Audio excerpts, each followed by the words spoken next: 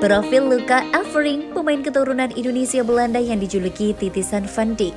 Profil Luka Avering, pemain keturunan Indonesia Belanda yang dijuluki sebagai Titisan Van Dijk, menarik untuk dikulik. Luka Avering memiliki kemungkinan besar berseragam timnas Indonesia di masa depan. Sebab pesepak bola keturunan ini tengah meniti karir cemerlang di tim senior FC Twente. Jauh sebelum itu, Luka Avery mengawali debutnya bersama Akademi FC Twente pada 2012 lalu. Winger kanan klub si merah ini diketahui memiliki darah Indonesia. Timnas Indonesia mulai melirik pemain muda berusia 21 tahun itu. Pengalamannya memperkuat klub Belanda menjadi keuntungan bagi timnas Indonesia di masa depan. Lantas, seperti apa sosok Luka Evering? Berikut profil Luka Evering, pemain keturunan Indonesia Belanda yang dijuluki sebagai titisan Van Dijk. Luka Evering merupakan pesepak bola Belanda yang lahir di Diepenven 9 Februari 2001. Pesepak bola berusia 21 tahun ini menempati posisi sebagai fullback dan bek kanan. Luka Evering bermain sepak bola kala berusia 5 tahun. Saat itu Evering mulai bergabung dengan SDC Dinfern Kemampuannya yang menakjubkan membuat FC Twente memboyongnya pada tahun 2012. Untuk menjadi bagian dari FC Twente, Avering harus mengikuti serangkaian tes. Avering akhirnya lolos pada usia 11 tahun setelah beberapa kali uji coba. Dari situ karirnya di FC Twente terus meroket ke tim kelompok usia. Pesepak bola berbakat itu telah membubuhkan dua gol dan satu assist dalam lima pertandingan bersama FC Twente U17. Ketika bergabung dengan FC Twente U19, Evering telah membukukan dua gol sebagai pemain bertahan.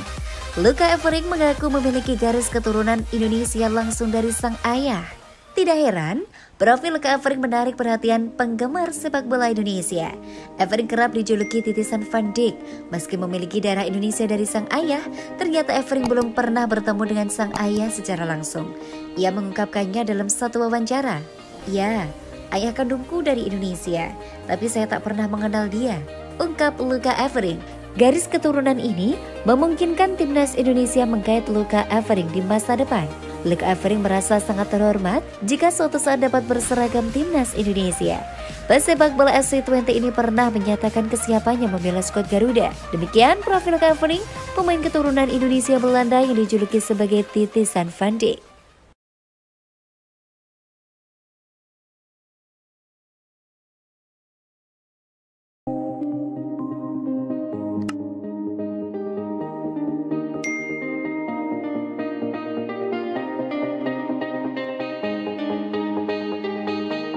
PSIS Semarang dikabarkan datangkan Sen nama di putaran kedua. Ini kata CEO Yoyok Sukawi.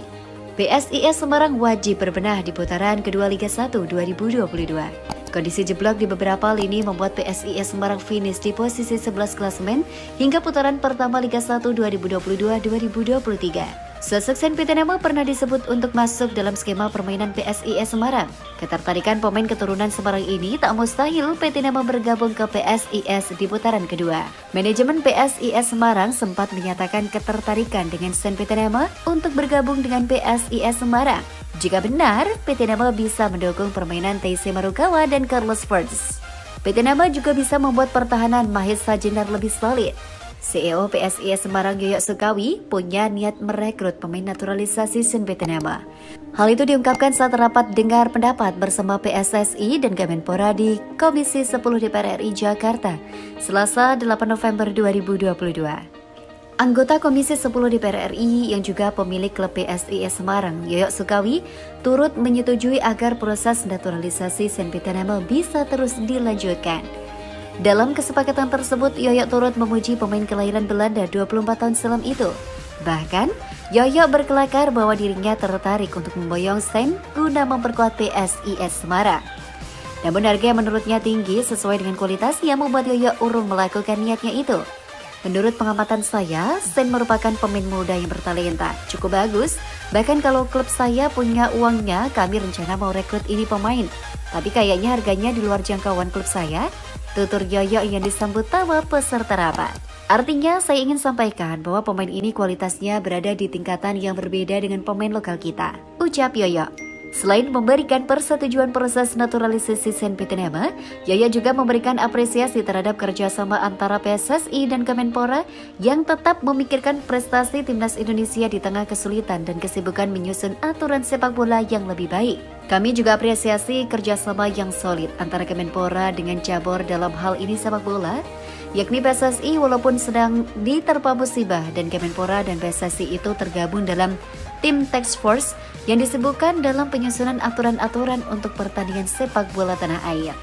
Jelas ya, namun Kemenpora dan PSSI tetap komitmen dalam mempersiapkan cabur sepak bola untuk berprestasi di kancah internasional.